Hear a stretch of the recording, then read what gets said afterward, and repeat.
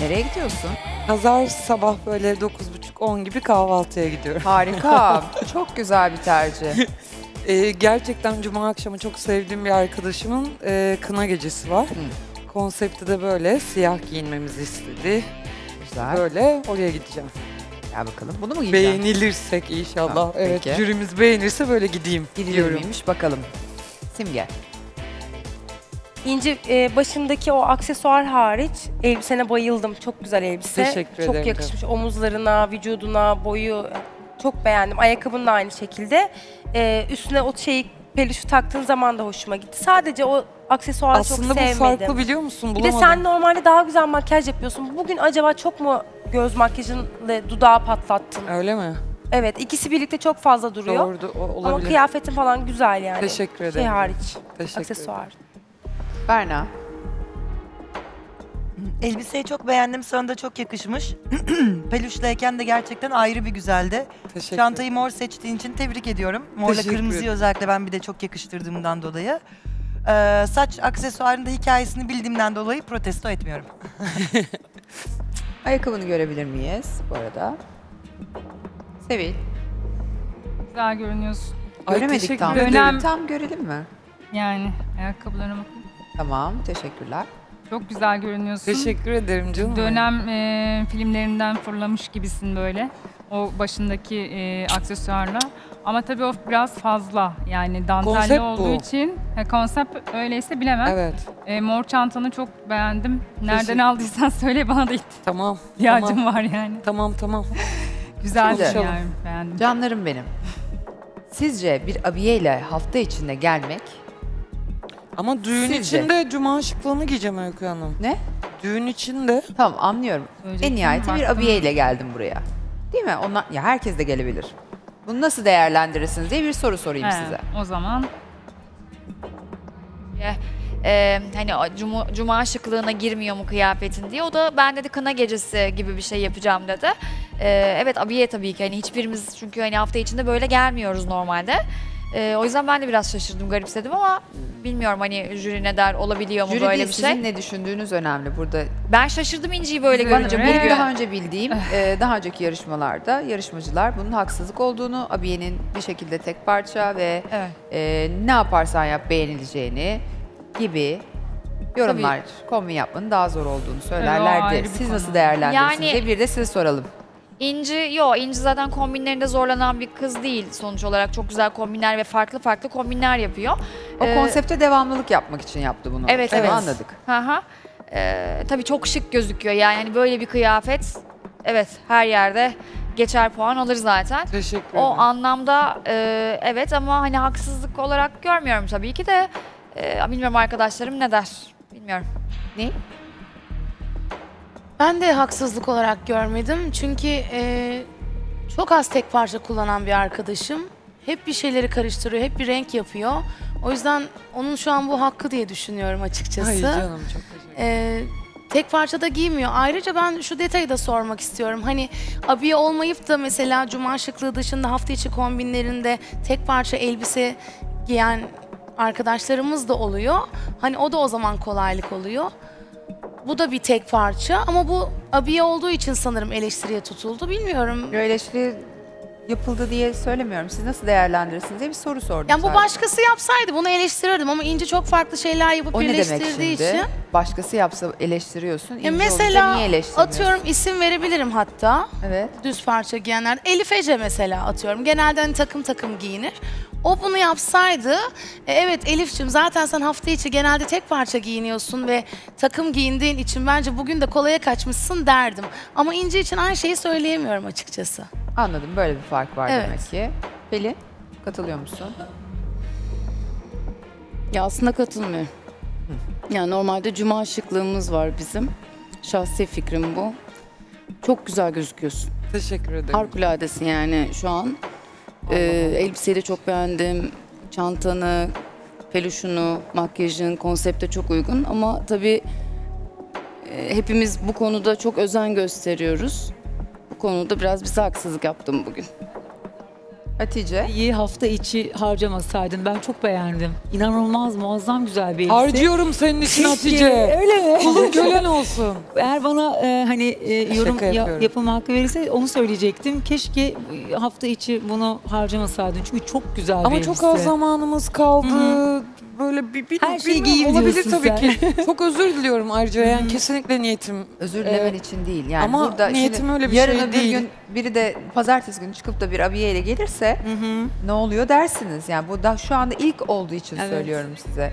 Bunu bir soru olarak sordum. Vay. Efendim?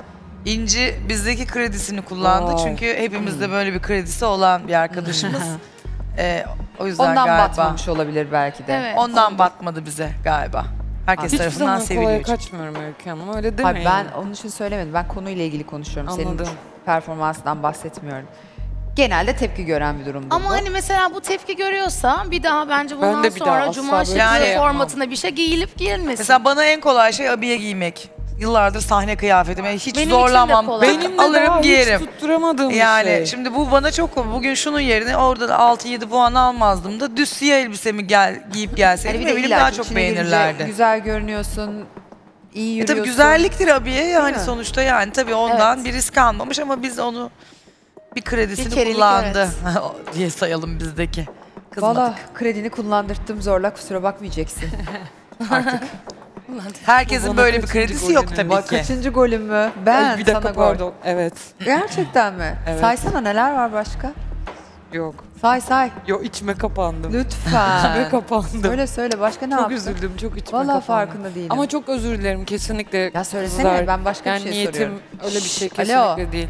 İşte alo alo. Ama yani aldı başını yürüyor. Baş, ne, ne var başka kaçıncı Önce gol? bir gideyim Öykü Hayır hayır Moralim söyle. bozuldu valla. Vallahi söyle. Hiç niyetim o değildi çünkü. Allah Allah. Hayatta söylemez. Onun ağzından bir şey alamazsınız. Sır küpü. Sır küpü. Hayır canım. Sen de hep böyle yapıyorsun. Bir şey var ama diyorsun. Ama gerçekten söylemem. ben şişmiyor musun? Şaka yaptı bence Şişiyorum, size. Değil mi? Söyle lütfen. Değil Şaka mi? yapmıştır o bence. Ne yaptım? Birazcık şişin istedim. Çok Ne zayıfsınız. yaptım? ne yaptım? Ne yaptım? kürlenmiş. Mutlaka hatırlarım, söylerim. Ama söyle. Tamam. Tamam Söz, yayından sonra söz. söyle. Farkında değilim çünkü. Tamam söz. Geçebilirsin bol şans. Teşekkürler.